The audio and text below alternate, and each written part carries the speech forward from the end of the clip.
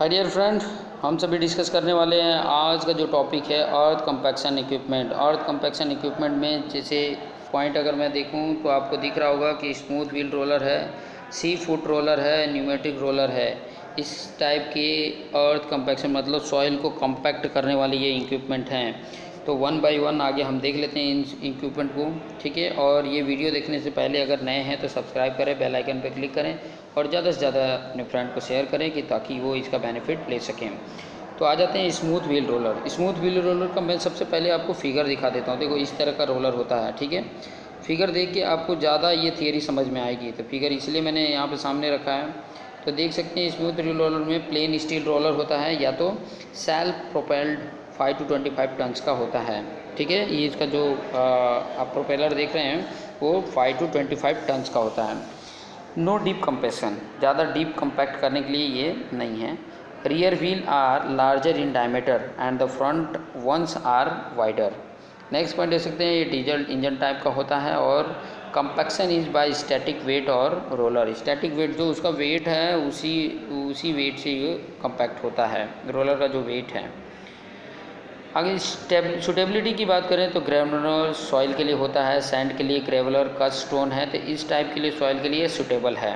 Smooth wheel type का ये देख रहे हैं, इस टाइप का फिगर आप देख रहे हैं। इस टाइप का ये रोलर है, ये रोलर है, आपने देखा भी है।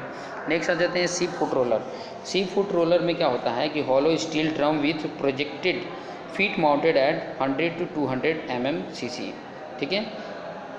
वेट कितना 50 टन होता है स्पीड क्या होता है? 25 किलोमीटर पर आवर एक आवर में 25 किलोमीटर तक जाता है। Compaction is by kneading action kneading action मतलब जैसे हम आटा गूंथते हैं, वैसी तरह ये कंपैक्ट करता है।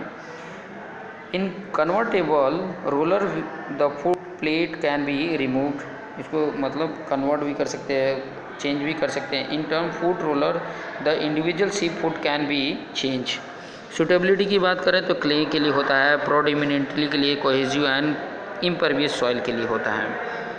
ये इस तरीके का होता है सी फुट ठीक है? सी फुट रोलर इस टाइप का होता है, इस तरीके से देख सकते हैं। सी फुट रोलर यहाँ पर भी देख सकते हैं सी फुट रोलर आगे जाता है pneumatic type roll tyre roller तो ये consist of base platform mounted between two axle से होते हैं।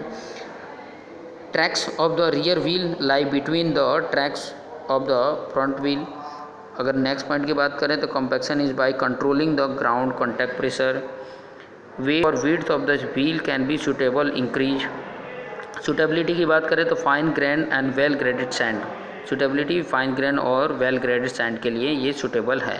जैसे इस टाइप का होता है एनिमेटिक उसके बाद से पाइल ड्राइविंग जो हम नेक्स्ट वीडियो में देखेंगे कि पाइल ड्राइविंग इक्विपमेंट है क्या? तो आप मेरे साथ बने रहिए और देखते रहिए कि आपको ज़्यादा से ज़्यादा मैं वीडियो प्रोवाइड कर सकूँ और ज़्यादा तक आपको समझा सकूँ। तो आप मेरे साथ बने रहिए और देखते रहिए ऐसे वीडियोज़ को। तो आप, जितना ज़्यादा आप देखेंगे, उतने मुझे एनर्जी मिलेगी और आप तक ये वीडियो प्रोवाइड कर दूँगा। So thank you for watching this video